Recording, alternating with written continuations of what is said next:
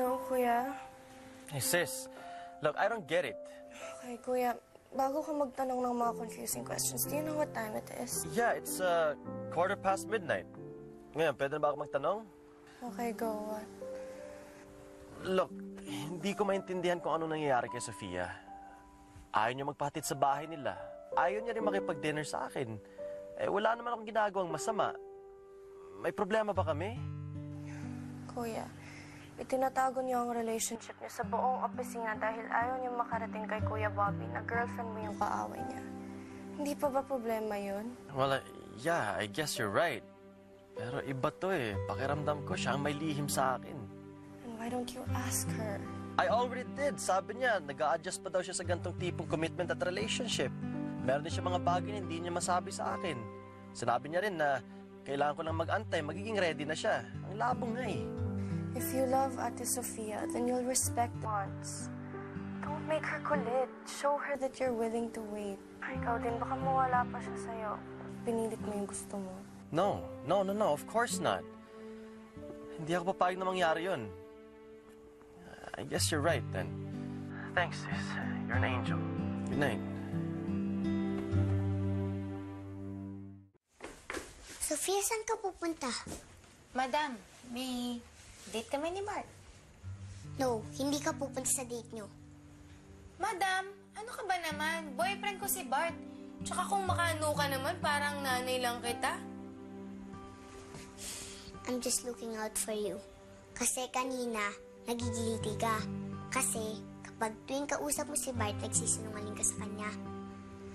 Eh baka naman pagkatapos ng araw na to, sabihin mo na sa kanya na ako talaga si Ana Manalastas. Madam, may usapan na kami ni Bart. Nagkaintindihan na kami. Kaya nga ako pumayag na makipag-date sa kanya eh. Gusto ko naman na iparamdam sa kanya na importante siya sa akin. Na eh, hindi ko lang siya basta iniiwasan. I don't have a good feeling about this, Sofia.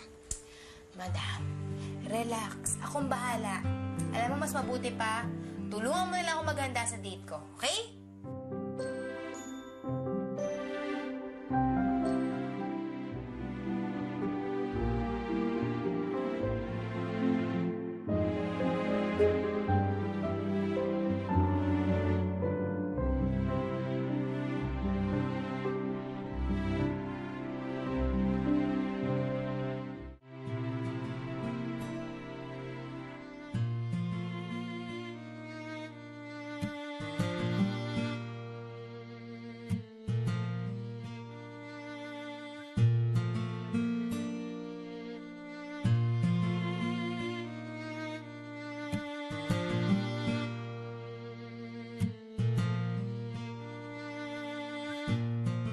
Nais mang itago Takot lang mabigo Damdamin ko.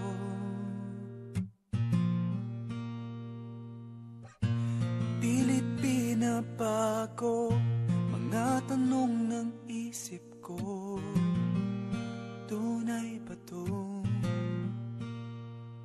Sa piling mo'y walang lungkot Sa'yo ako'y buong buo